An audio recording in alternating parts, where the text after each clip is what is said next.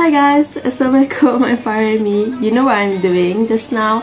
I just go through this old blog of mine. Do you remember back then in the early 2010s where blog is still a thing? It's just nice to see people spend their time writing their daily blog and decorating their blog website to make it interesting for the readers. But people don't do blog anymore, aren't they? Nowadays people do vlogging video log. It's more fun to do and it's easier to interact with the audience. So rather than watch other people do their vlogs, why don't you start and making your own one too? So here, 4 things you need to know before start your own vlog. Let's go!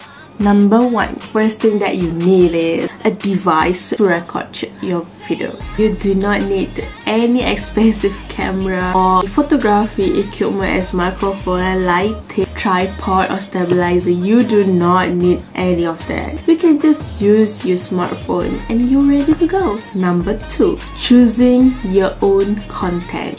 Vlog is easy and fun to do because you can choose any type of content you want to do. You can talk about your clothes, about cooking, talk about your interests, your hobby, where you want to go during the day, what you're doing. Anything is acceptable.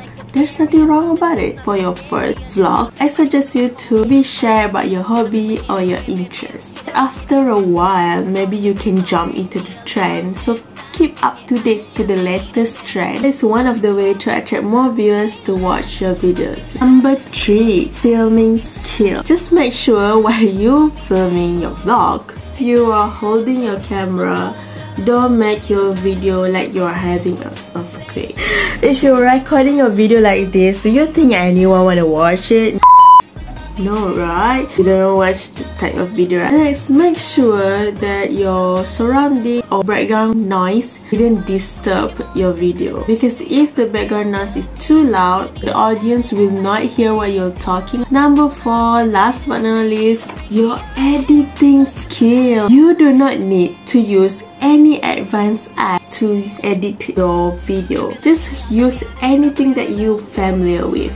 It's nothing wrong with your phone app. It's okay. You do not have to be a pro to edit your video. I just recommend you to make your video short and simple. Cut and crop any unnecessary part in your video. If your video is one hour long, who's gonna watch it? Make your video as short as you can. Your video might be short, but it's complex with content and make people wants to watch more. And if you wanna add a background audio just make sure you avoid using a copyright music. So the four things you need to know before start your own vlogs do you find any benefit to this video? If you like this video don't forget to go and check out my youtube channel. I will be uploading a new video soon. So i hope you enjoy starting your own vlog. I'm Farimi assalamualaikum